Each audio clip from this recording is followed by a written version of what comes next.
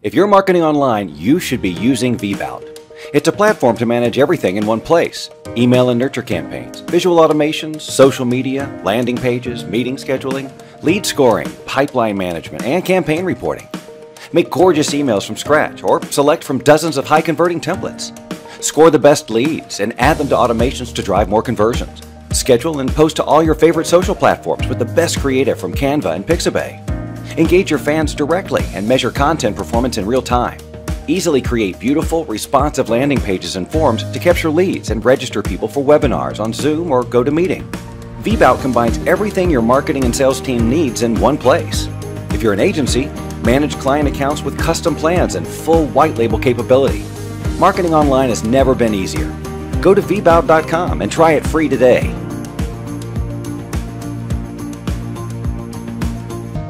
So let's talk about automation. Now the market is buzzing with this key term, and you might hear this being referred to as uh, automation, workflow campaigns, drip campaigns, nurture campaigns, customer journey, that sort of stuff. In our case, an automation is a collection of workflows. And the workflow is a nurture process that takes your customers from the awareness stage to convert them into buyers. This is technically the ultimate uh, purpose of automation. Of course, there's other things like awareness, so you can educate them about what you do and so on. Uh, and some of the basic stuff we'll cover are what are triggers, actions, and filters. You'll probably hear this across uh, all different softwares that you might use.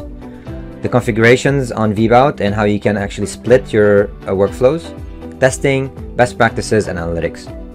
As an exercise, I recommend you identifying for your business five workflows that you feel uh, will replace the manual day-to-day things that you do, such as cart abandonment emails, uh, product upsell, requesting reviews, uh, so depending on the industry, you will probably find at least three to five different workflows that will be relevant to you. And we've assembled a whole lot of documents on e-commerce and others under our blog so you can um, go back to and just get inspired.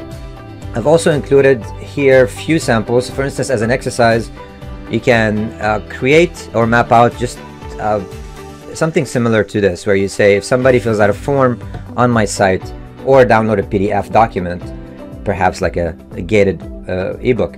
Wait a minute, notify my team, my sales team, or my marketing.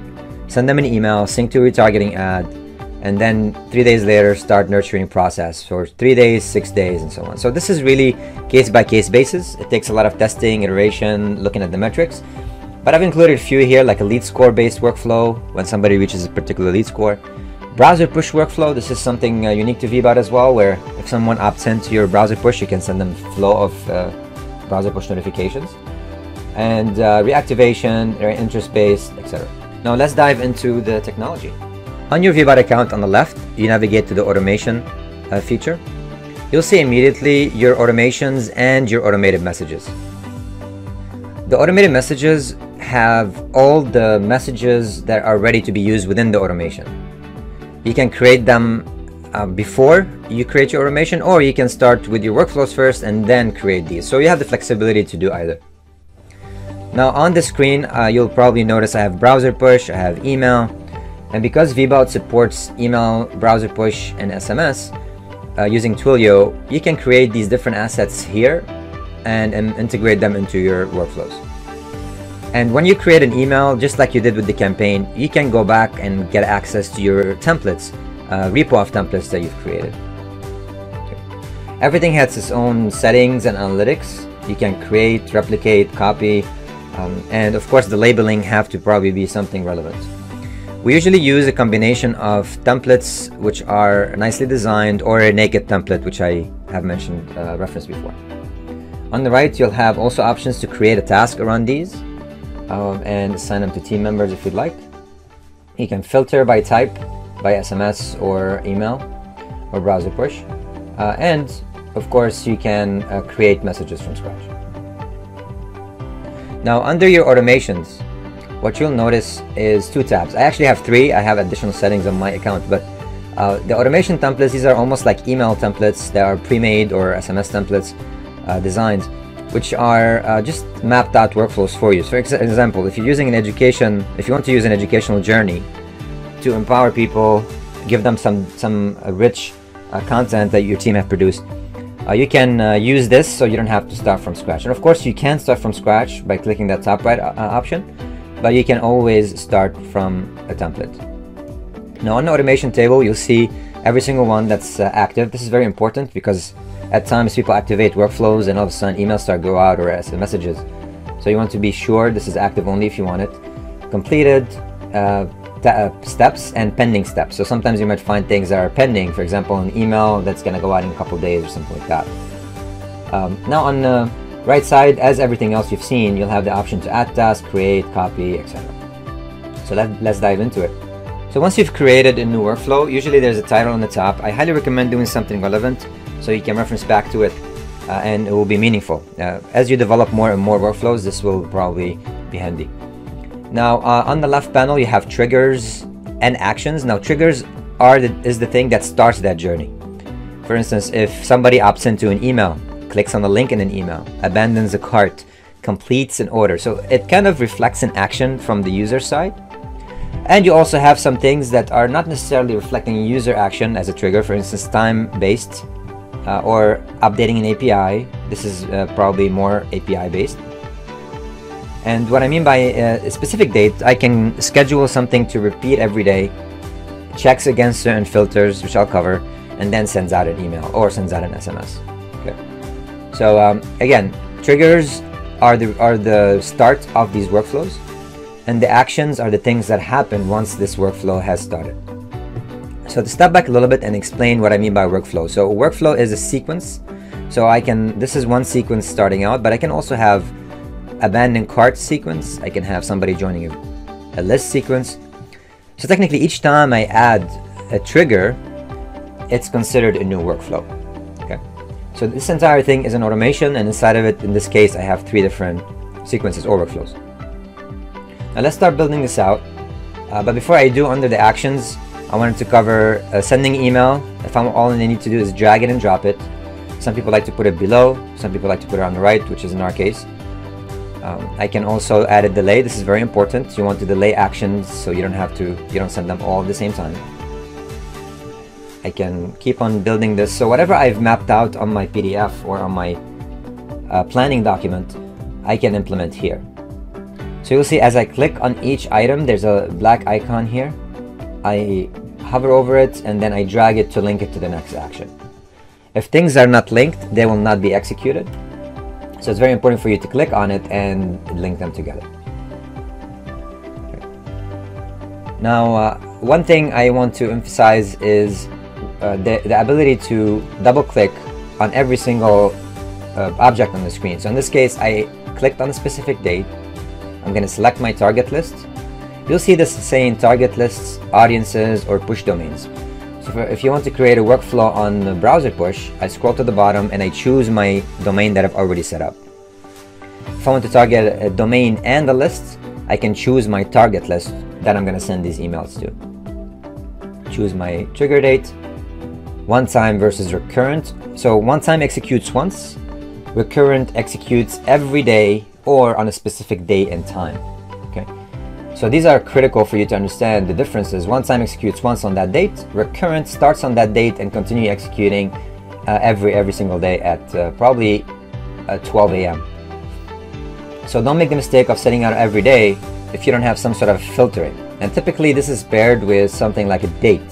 For instance, I want to send an email for someone whose sign-up date um, or let's say last engagement or first engagement has been um, 90 days from today.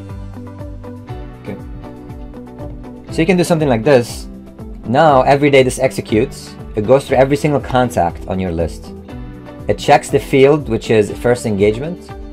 If it's 90 days uh, ago from today, then it's gonna push them through this workflow. If they don't, they're probably gonna drop off. They, this won't execute for these uh, for this sequence or this contact. Now you can see if I made a mistake and link, the, uh, things, I can delete them or uh, I can double click on this arrow to add some filters.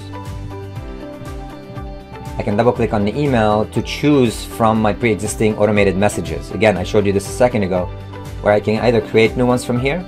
So if I create a new automation, it opens a new tab. So just be mindful of this because you have to toggle back to the tab. If you created a new one, you come back here, you click refresh, and the system will automatically populate it, so you can choose it directly. I can configure my delays. Now I can say, all right, two days later, on a specific time of the day, maybe 9 a.m., uh, send the follow-up email. Now, if you want to do something similar to if someone did not open this email, resend it again, uh, that's possible. All I need to do is just add a filter in this case on the arrow. If I double click on it, I can choose and or or condition, add new, and from the drop down, I'll have the option to see email unopened under the email engagement segment. Choose which email. You notice this draft sent some of them are actually automated, and this allows me to filter this uh, this out according to this type. So this is campaign A, B. These are automated the messages. So this references back to either your main uh, newsletter templates that you've sent out to see if someone opened them or didn't, or reference back to the automated messages to see if they opened them or not. You can do additional uh, settings. For instance, instance, you can pair it with also visiting a destination URL maybe a device operating system matches a specific uh, type, that sort of stuff. Now you can continue building these out as, as much as you want. And on the bottom, as you start, you know, kind of, uh, if these get bigger, you can use that bottom right grid to see what's going on uh, and navigate the view faster. There's a show stats option which gives you a live overview of what's going on at each step. And you can also add notes under the triggers. There's an option all the way at the bottom which I can drag on here and I can leave a note for my team explaining what this uh, trigger does. So uh, this is to follow up on um, activation. This way, if some team member logs in, they double click and they can read the notes. Now every single trigger have different actions. For instance, the abandoned cart. If you set up your e-commerce library with VBout, you'll have the flexibility to choose the domain you've set this up on the launch date um, and also have some additional things like if somebody when they first added to the cart uh, or the last product added to the cart VBout detects this apply to historical data. So if we have original data on abandoned carts and also filter by target segment. So typically what happens in this case uh, detects an abandoned cart. You should add a delay. Filter. And I can double click here to say um, or under delay to give an hour. So in this example what I'm doing is when somebody is detected as an abandoned cart wait an hour and send them an email with the content of that abandoned cart this is a simple example if you want to do something like somebody joining a list uh, to opt in or fill out a form for downloadables you can target them as well um, with a sequence of emails. So as you can see, every single one of these have its own configuration associated. Now one thing to note, sometimes people want to check on uh, opening or not opening an email. I highly recommend putting this after the delay. Because the sequence just go through every step one by one, once you pass the delay, giving them two days time to open that email, then you'll check the condition to take another action, right? A lot of times they make the mistakes of putting the condition be before the delay. This doesn't give the, the contact enough time uh, to actually open that email. There's some shortcuts you can do like multi-selection and forking this and you can get really sophisticated with it uh, once you learn how to use it. It's very cool uh, to branch out to multiple multiple workflows. Now the actions here are sending an email, Twilio SMS, you'll have to have a Twilio uh, number, browser push, uh, you set up on VBout. You can also add people to a list, so you don't have to send them a message. You can send a, add them to a additional list, update their contact information, removing from a list, pushing them to a different journey. You can sync to your retargeting ad on Facebook. You can also notify your team members when someone reaches that stage. So you can see the power of this uh, and the, uh, the possibilities of you know getting people pushed through these sequences, nurturing them and tracking every step of engagement along the way. Also, another cool thing on VBout is that you have the ability to personalize your SMS with someone's name. You can personalize the browser push with someone's name, giving you the flexibility to actually have a full-on one-to-one personalized experience. Now there's a help section in the top right, uh, which you can leverage. History, so it auto-saves, so you can revert back to a previous version. And you also have the actions, where you can publish, you can update, create new, and switch automation. So just be mindful on when you uh, create these not to publish them immediately before you start testing things out. You might want to uh, perhaps just update the automation or uh, and continue or exit. So this makes it unpublished, meaning it's not gonna execute, uh, and uh, you can always come back, finish it, and continue working on it. From the analytics side, uh, let me just dive in into an example here. This gives you an overview of all the channels and performance across a specific date and time. How many sent, opened, and clicks. Breakdown step by step, and every email it tell you who are the recipients, who are pending, how many bounced, spam, top domains, that sort of stuff. So we really drill deep into each one. And in case you have someone pending, you can actually stop the sequence from happening for that particular contact. We show you who clicked on what. So this automation is pretty uh, pretty interesting. Uh, you can track in depth what's going on, and it allows you to unleash unleash the marketer in you using marketing automation.